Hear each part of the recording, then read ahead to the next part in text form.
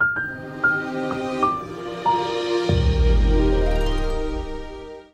everybody, Doug Schulze with the ITOM Ranger Group.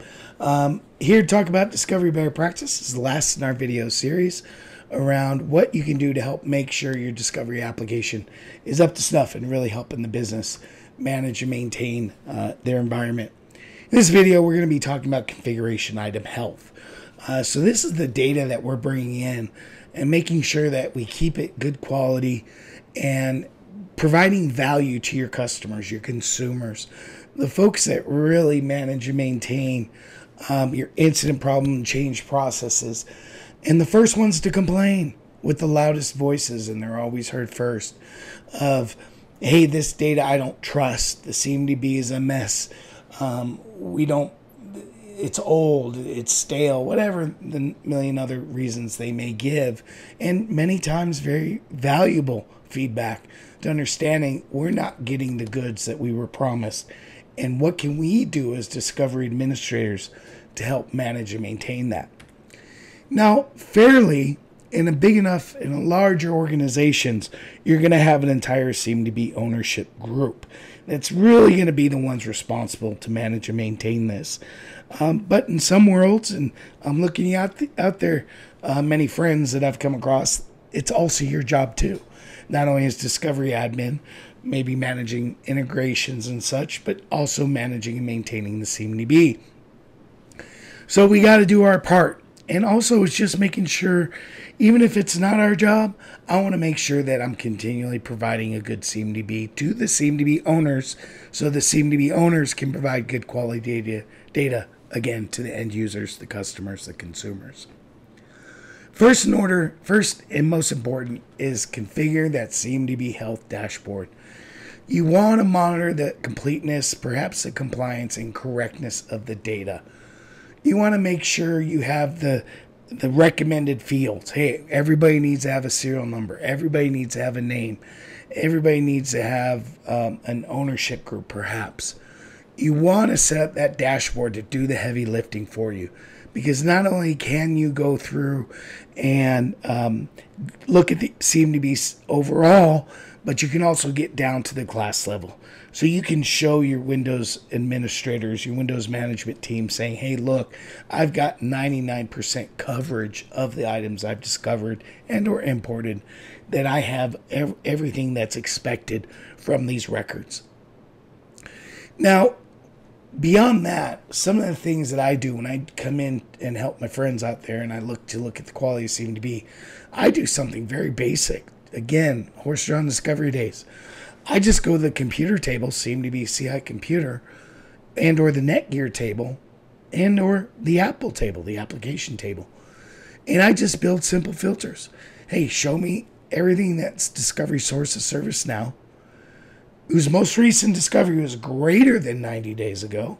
I do that because that's what the licensing routine is, but 90 days is a good thing and then the operation and it's in the operational and or installed state depending on what focus of the life cycle state that, that you you like, what attribute of state that your business focus on. So operational installed is what i go off of. And that will allow me to easily see hey wait a minute i've got 3000 computers that have not been discovered in greater than 90 days. Where did they go? I've got stale data here that somebody needs to deal with, whether it's your job or the CMDB owner's job.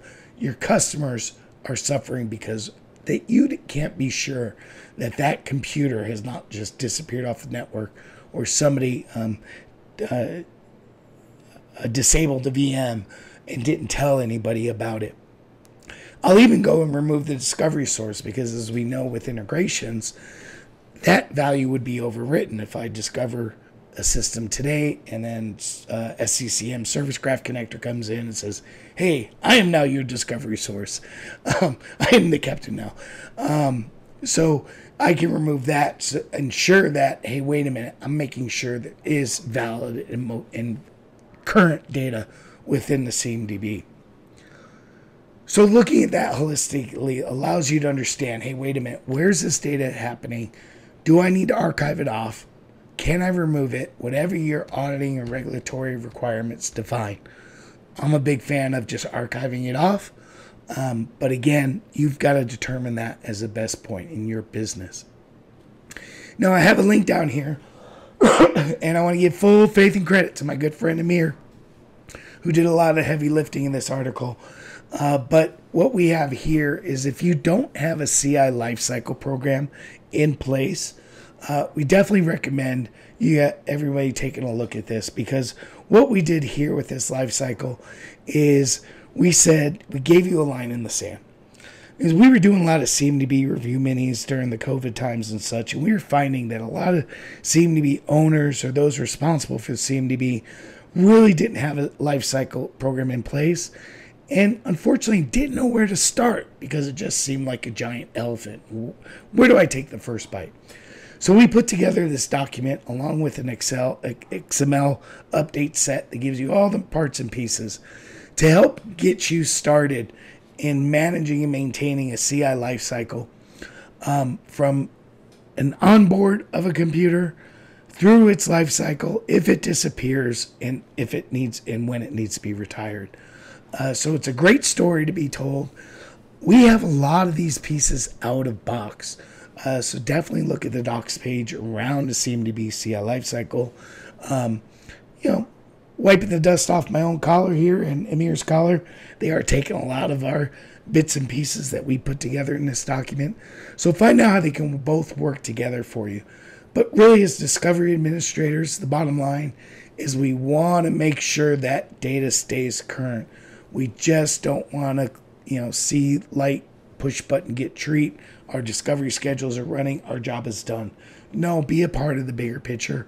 Make sure your end users, your consumers, your customers are getting the good data you're providing and helping the business overall succeed because everything with the CMDB, everything we do in ServiceNow really revolves around the CMDB and having that good positive data. Well, hope you got a lot out of these series. I know they've been quick. That's our goal here. Um, enjoy the videos and hope to see any comp- uh, compliments or suggestions to improvements. Appreciate it and be well.